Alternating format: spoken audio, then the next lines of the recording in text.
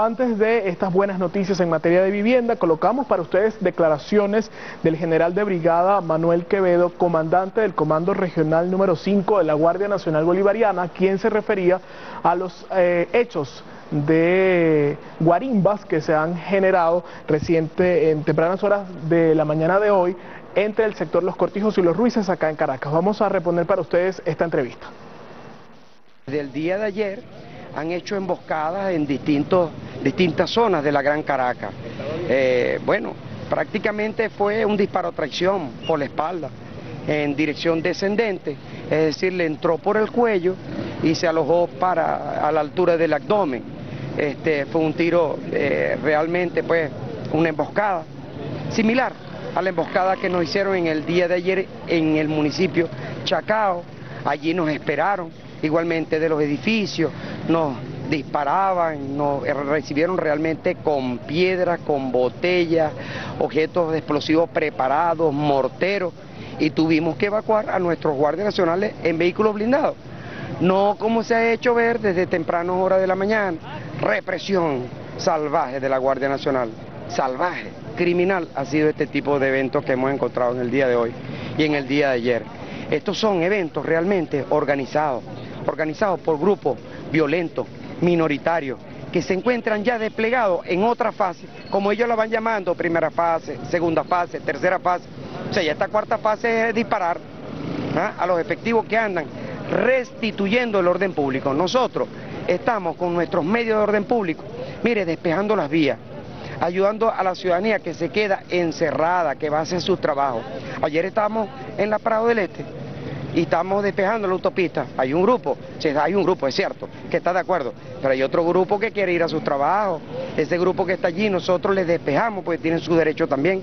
Eso es lo que estamos haciendo nosotros, con nuestros medios, que son, no son con armas letales. Esos camiones son blindados, claro, pero no tienen elementos eh, de ningún tipo de arma letal.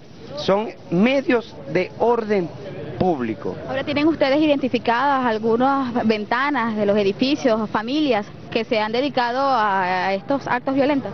Claro, ya nosotros tenemos acá, esto nos ha permitido identificar las calles, que las calles que se han convertido en verdaderas guaridas, donde los delincuentes vienen y nos esperan, tienden la emboscada. Bueno, ayer estamos averiguando, por allí estamos averiguando, que estamos averiguando la persona que reunía a unos vecinos acá en el este y le decía que cuando los estudiantes fueran, pero no son estudiantes, utilizan a los estudiantes, son estos grupos violentos que le permitieran la entrada y de esas entradas a los edificios nos lancen y nos esperen con armas. Ah, bueno, estamos haciendo esas investigaciones, ya, ya sabrán quién es, ya vamos a saber quién es, pero estaban haciendo esa organización, lo mismo que vimos ahorita acá. Nosotros llegamos a restituir el orden y bueno, inicialmente pudimos avanzar, pero después a mansalva, en una calle ciega, una verdadera emboscada, y hacemos un llamado a la paz. Mire, los motorizados vinieron acá con mucho dolor están tranquilos. Nuestro comandante en jefe, presidente Nicolás Maduro Moro, ha hecho un llamado a la paz. Nosotros ratificamos ese llamado a la paz. Ante esta lamentable pérdida de un guardia nacional bolivariano, ¿Qué opinión le da usted eh, a, esta, a esta matriz que se ha generado, matriz de opinión pública que se ha generado de que el Guardia Nacional es el que reprime las supuestas eh, protestas?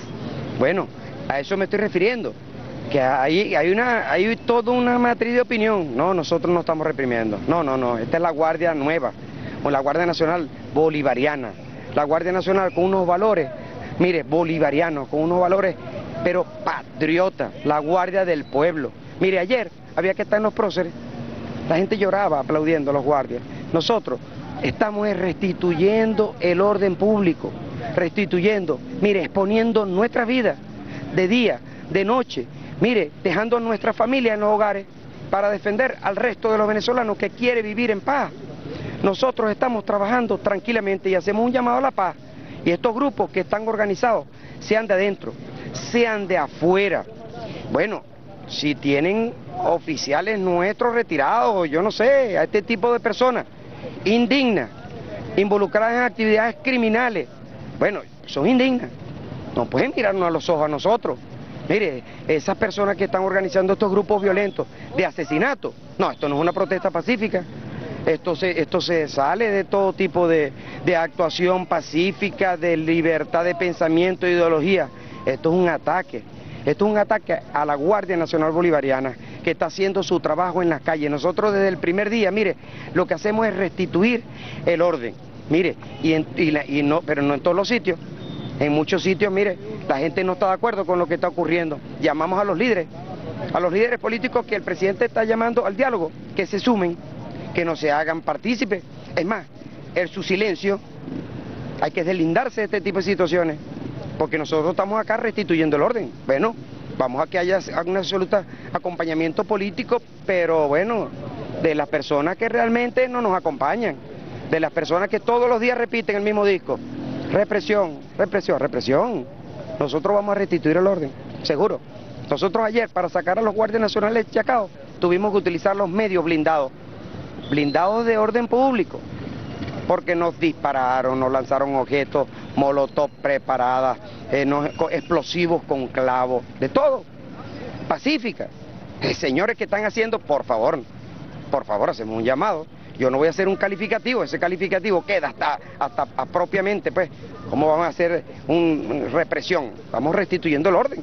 Tuvimos que salir a través de medios blindados. Ya hacemos un llamado a la paz. Nosotros vamos a seguir con las medidas de patrullaje, acompañados de este pueblo, tranquilamente, protegiendo al pueblo, a todo el pueblo, sin distinción, sin distinción.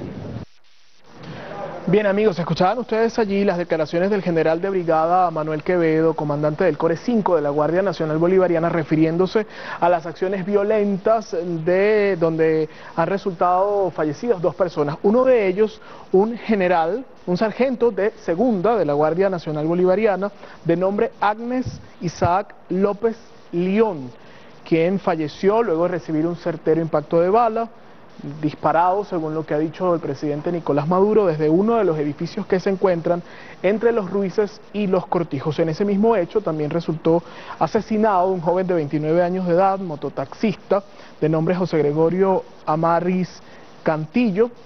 Ambos estaban tratando de levantar las barricadas que por muchos días han levantado personas en este sector muy cerca de la estación del metro Los Cortijos. Ustedes veían allí en las imágenes que además de estos hechos también ah, incendiaron un vehículo que estaba estacionado justo frente a la estación del metro Los Cortijos. Nosotros compartíamos con ustedes las imágenes, también tenemos fotografías que nos han hecho llegar hasta el canal. Repetimos entonces la identificación, sargento de segunda de la Guardia Nacional Bolivariana, Agnex Isaac López León, perdió la vida y también José Gregorio Amaris Cantillo, mototaxista. El presidente Nicolás Maduro enviaba, por supuesto, sus palabras de condolencia a las familias de ambos, también a la familia de la Guardia Nacional Bolivariana, reiteró el llamado a la paz.